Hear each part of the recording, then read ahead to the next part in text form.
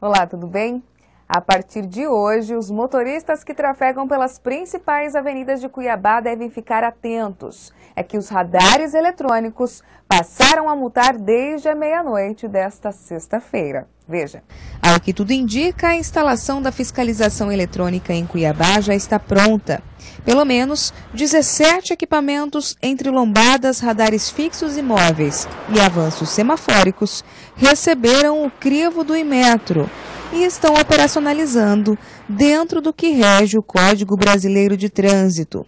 Além disso, o secretário de Transporte Urbano da capital, Antenor Figueiredo, garantiu que todas as vias estão devidamente sinalizadas e até dezembro 100% da fiscalização estará nas ruas. Existe uma polêmica aí em relação às sinalizações, né?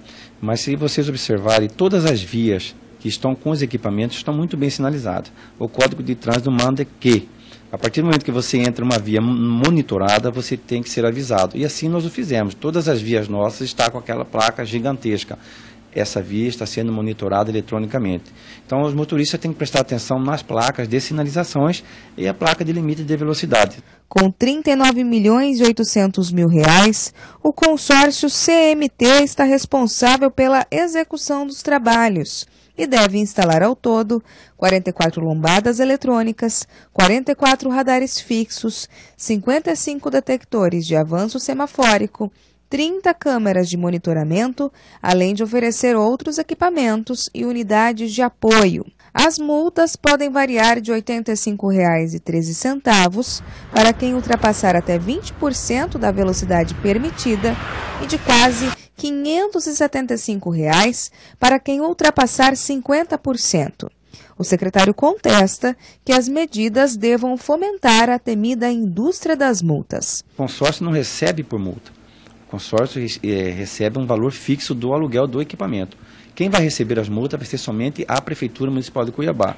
E todo aquele motorista que se achar é, lesado pelo radar, que entre com recurso, inclusive na, na nossa página online né, da Secretaria já exi existe já uma janela para você entrar com recurso via internet, sem precisar você vir aqui na Secretaria. Esses recursos ele vai para o Fundo Municipal de Trânsito e Transporte, que é um fundo exclusivo da Secretaria de Trânsito e Transporte, que serve para fazer benfeitorias para o trânsito é, compras de equipamentos, manutenção da sinalização, é, até tapa-buraco, se for necessário, o fundo permite que a gente faça isso. Ou seja, é um fundo, é um dinheiro carimbado para a benfeitoria do trânsito. Tem que ser revertido para o trânsito, não pode ter outro objetivo. O gestor também rebateu algumas manifestações de vereadores que questionaram medidas adotadas pela pasta. A gente tem reação quando a gente se sente incomodado, né? Nós não, não, não estamos sentindo incomodados, mesmo porque nós fizemos tudo dentro da lei.